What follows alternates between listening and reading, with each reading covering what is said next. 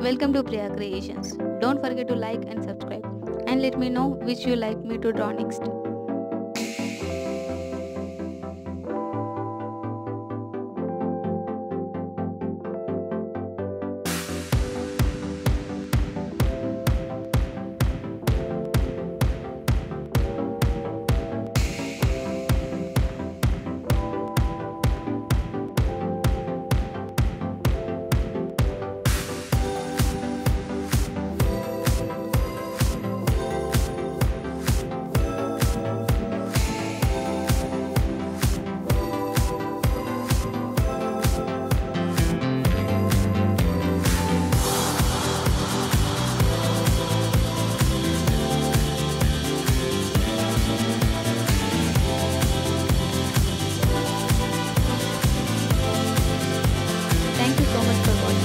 for me